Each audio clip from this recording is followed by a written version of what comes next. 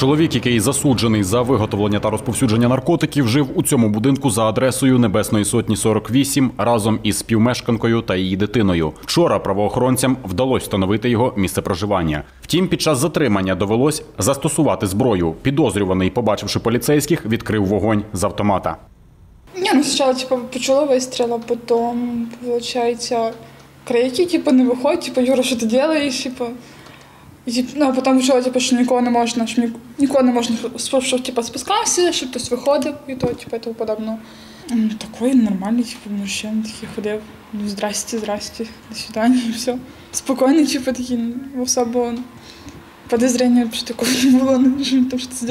Після нетривалої перестрілки чоловіка вдалося затримати. Про затриманого відомо, що він був засуджений за розповсюдження та виготовлення наркотиків та вже майже півроку перебуває у розшуку.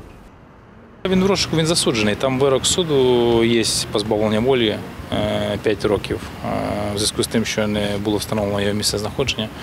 Е, Ось його оголосили в розшук і проводили заходи щодо його встановлення. Розшук, е, здається, з 11 місяця 2019 року. Постраждалих немає. Вистріли е, так сталося, що і його постріл е, прийшов в стіну е, ось е, в квартирі. Ну і відповідно постріл поліцейського також не завдав шкоди йому. Він затриманий, здоровий, всі здорові, живі.